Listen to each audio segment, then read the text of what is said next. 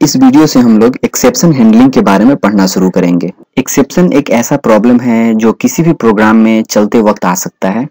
Exception आने का अनेकों कारण हो सकता है, जैसे कि यूज़र इनवैलिड डेटा टाइप किया, या फिर फ़ाइल जिसको ओपन किया जा रहा है वो अवेलेबल ही ना हो, या फिर नेटवर्क कनेक्शन बीच में ही कट जाए जब कम्युनिकेशन हो रहा हो, या फिर जेवीएम का मेमोरी खत्म हो जाए और ये आउट ऑफ़ मेमोरी रन करने लगे। तो ये सब नॉर्मल कारण है जो एक्सेप्शन लीड करता है। इन सभी एरर्स में कुछ तो यूज़र का गलती होता है और तथा कुछ प्रोग्रामर्स का मिस्टेक भी होता है।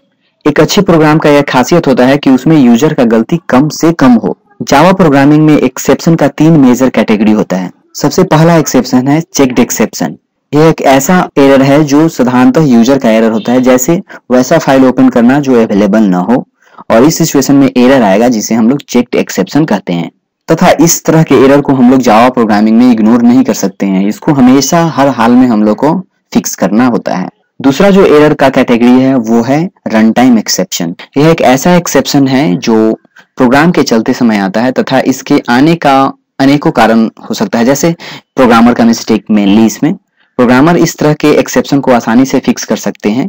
कोड को चेंज करके यदि एग्ज़ाम्पल बोला जाए तो इसमें बोला जा सकता है array index out of bound जो आता है, जैसे एरे के लिमिट्स के साइज़ से हम उसमें डेटा जब रखते हैं तो एरर आता है। इंटीजर को जब डिवाइड करते हैं ज़ीरो से, या फिर कास्ट करते हैं हम लोग किसी रिफरेंस को इनवैलिड डेटा टाइप में, और इन सब सिचुएशन में हमेशा हम लोग रन टाइम एक्सेप्शन देखते हैं। जो इसका तीसरा कैटेगरी है, वो है एरर्स एक्चुअली यह कोई एक्सेप्शन की तरह तो नहीं होता है, लेकिन प्रॉब्लम, एक ऐसा प्रॉब्लम जो ना यूज़र का कंट्रोल के अंदर होता है और ना ही प्रोग्रामर के। जैसे कि जेवीएम का मेमोरी ही खत्म हो जाए, कोई स्पेस नहीं रहे तो उस समय क्या होगा? एरर आएगा, जिसको हम लोग एरर्स कैटेगरी में रहते हैं, जिसको हम लोग कंट्रोल चाह के भी नहीं कर सकते हैं, क्योंकि मेमोरी कब खत्म हो सकता है? नेवर नो ये तीनों एक्सेप्शन कैटेगरी का parent Java dot lang dot throwable class होता है। इस थ्रोएबल क्लास के अंदर में दो चाइल्ड क्लास होता है एक्सेप्शन क्लास और एरर क्लास जो एरर क्लास होता है, वो जावा के सभी एरर्स का पेरेंट होता है, तथा जो एक्सेप्शन क्लास है, वो सभी एक्सेप्शन का पेरेंट क्लास होता है। तो हम लोग ये देखें कि जावा में सबसे पेरेंट जो क्लास होता है एक्सेप्शन का, वो होता है थ्रोएबल क्लास इस थ्रोएबल क्लास के अंदर में बहुत सारा मेथड होता है, जिसको हम लोग यूज़ करते हैं। और आने वाले वीडियोस में हम लोग फ्रिक्वेंटली इन सब मेथड्स को यूज़ करेंगे।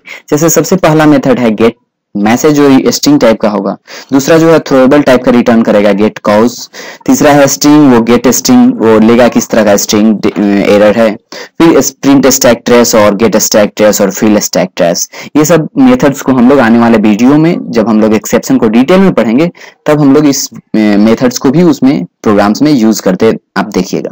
तो चलिए अब हम लोग एक सैंपल प्रोग्राम देखते हैं और वहाँ पे हम लोग ये देखेंगे कि कैसे एक एक्सेप्शन कैसे आ सकता है?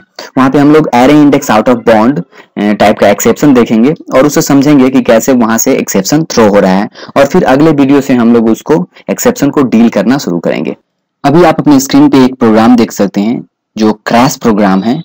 इस क्लास का नाम है क्रैश इसके अंदर हम लोग मेन मेथड बनाए हैं और एक मेथड वन है, एक मेथड टू है।